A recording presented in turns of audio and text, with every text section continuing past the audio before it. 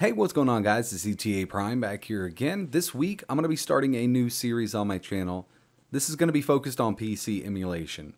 We're going to be using Launchbox and mainly RetroArch. Now, you could use RetroArch by itself if you'd like to, but I love the way Launchbox organizes everything for us. So let's talk about Launchbox for one second here. It's free, but there's a paid version. The paid version is $50 for life or $20 for a year. In my opinion, it's worth it. If you buy it, I don't make anything off of it. If you don't buy it, it's not any skin off of my back. I'm not affiliated with Launchbox at all. I just love the product. So we'll just scroll down. And um, for the paid version, you get something called Big Box. It's actually pretty cool. It looks really good. This is not my video here, but I'm sure they're not going to get too upset if I show you a little bit of it. So yeah, looks like hyperspin, attract mode, something like that. But the cool thing about Launchbox is they have their own built-in scraper that will grab all your data for the game, all the artwork for the game, most of the videos if you sign up with EMU movies. It's all around very easy to use and it's constantly updated. Go ahead and grab the free version, try it out. If you don't like it, you don't have to use it. But I wanted to start making a few tutorials using this. And the first one today, right now, is Neo Geo using Launchbox and RetroArch. Neo Geo is my favorite platform to emulate. So all these links are in the description. You want to click on download. You're going to put in your email address. They're going to email you a link to download it. Next up, we want to grab RetroArch. Now, RetroArch has been around for a long time and I've used it on everything. If you're running RetroPie, you have RetroArch cores running in the background. Download. I'm on Windows, obviously. There is an x86 version. This is for 32-bit CPUs. This is for 64-bit CPUs. I'm going to grab the 64-bit. It's 110 megabytes. So I already have RetroArch downloaded and Launchbox is installed. So I'm going to start up Launchbox. You'll be prompted like this. We're not going to get into this right now. We need to set up RetroArch first. Extract RetroArch. You can use WinRAR or 7-zip.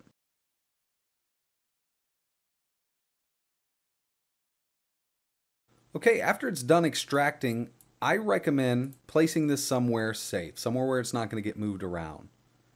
What I'm going to do is place it in my Documents folder. So I'll go to Documents, and I'm going to put it in another folder named Emulators. You can create a shortcut if you'd like to and place it on your desktop. But in this tutorial, we're going to be launching everything from Launchbox itself. So Make sure you have a controller connected to your PC.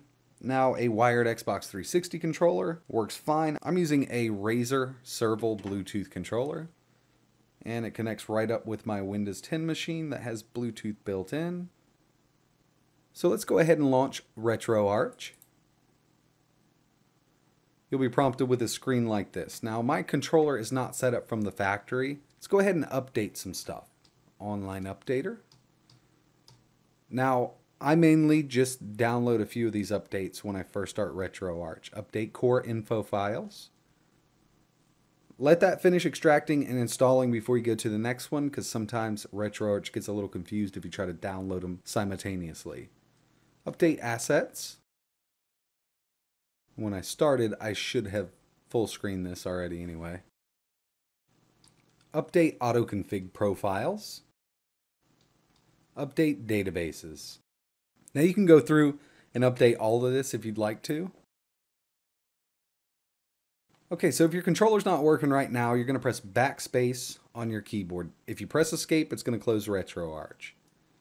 Settings, which is the little cog wheel here. Input,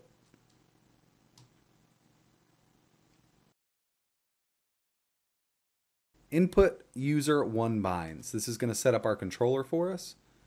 So it's showing that my Razer Serval is connected, but it's not working right now. So I need to go through. You can go to bind all, but I prefer just going through and doing it manually. That way if you mess up, you just go right back. Enter. There's my B, and I'll just run through this real quick. User 1, Y button, very self-explanatory. Go ahead and set your controller up if it doesn't work already. Okay, so now that you have your controller set up, press backspace or A on your controller. And it's kind of weird because RetroArch uses A to go back and B to select. Kind of like a Japanese input.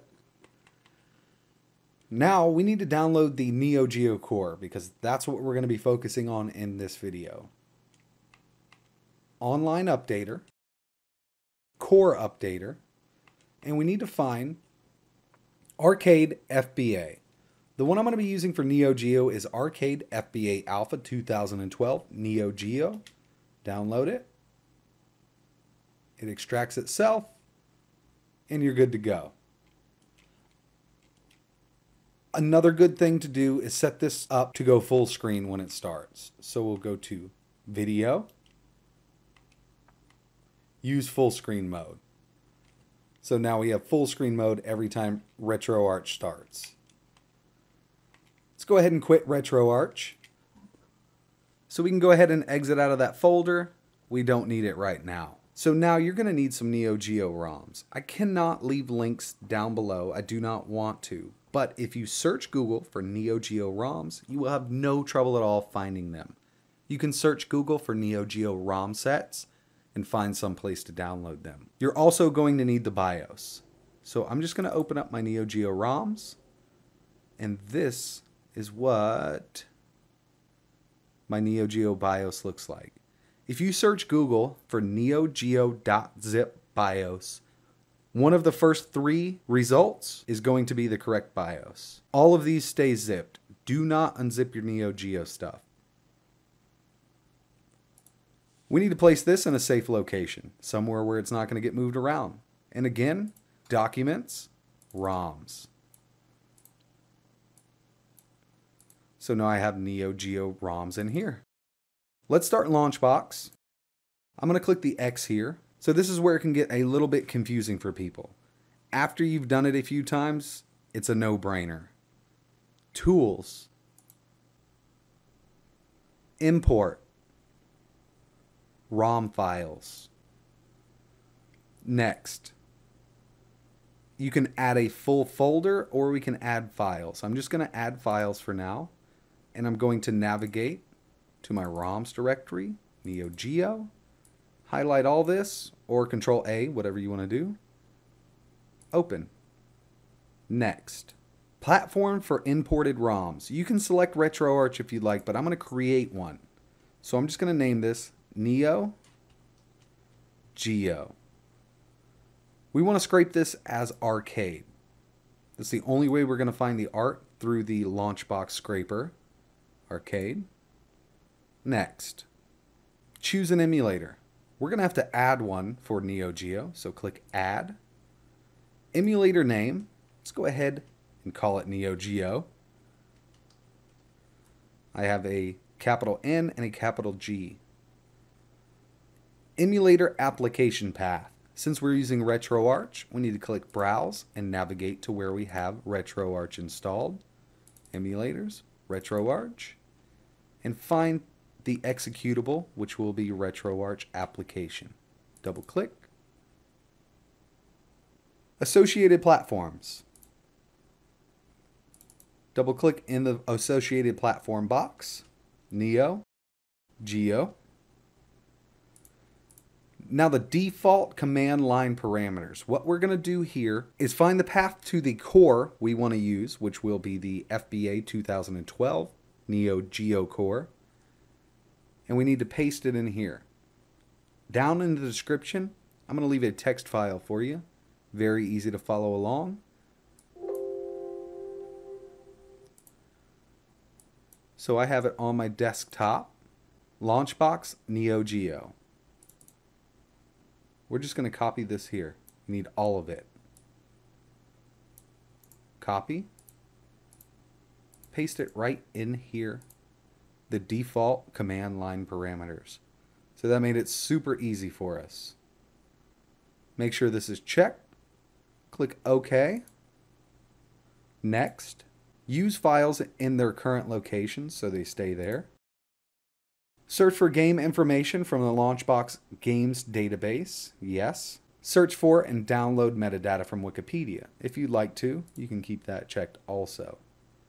Next.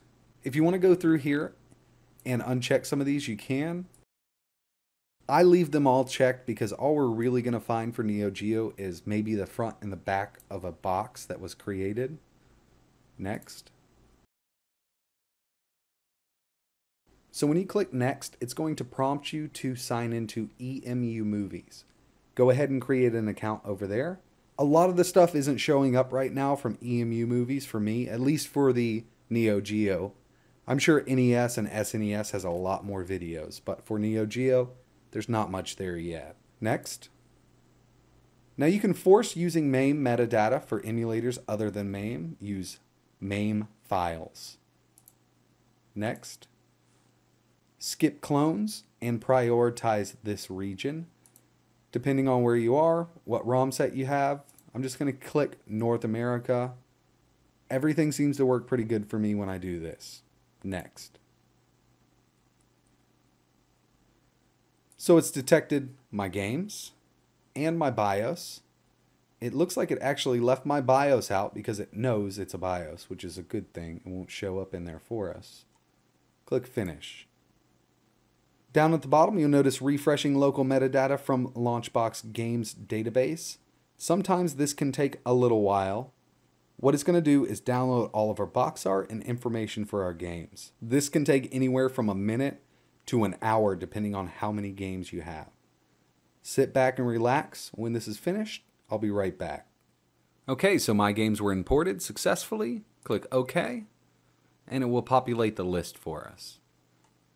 Now you can go ahead and click on one. I'm just going to click on Metal Slug. It's going to automatically launch RetroArch for us and start the game. As you see, select will insert coins.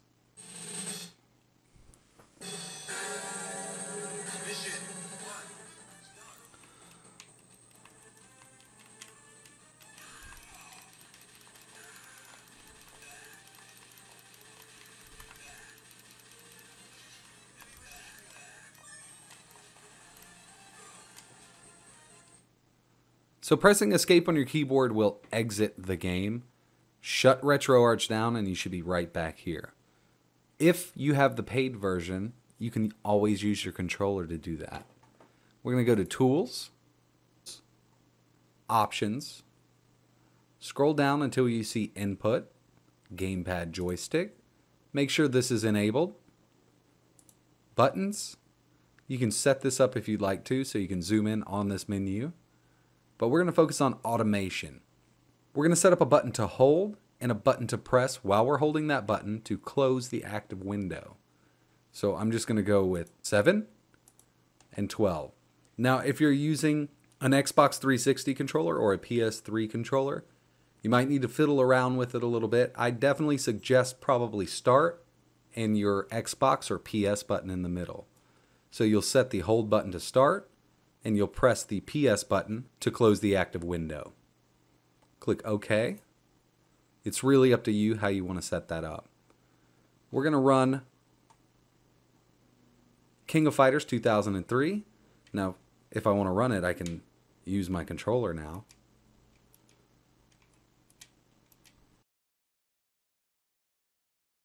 So right now I just want to show you how to exit. I'm just going to hold my hold button that I set up and press my hotkey button. That's my exit button. Closes RetroArch so you don't have to mess with the keyboard. That's pretty much it for Neo Geo. Now this is the first one on the list right here. This is my favorite system to emulate. Like I said, there's I really appreciate you watching. If you could, hit that like button and subscribe because I got a lot more coming. And real quick, if you're on the paid version, I want to go to big box mode. I want to launch it.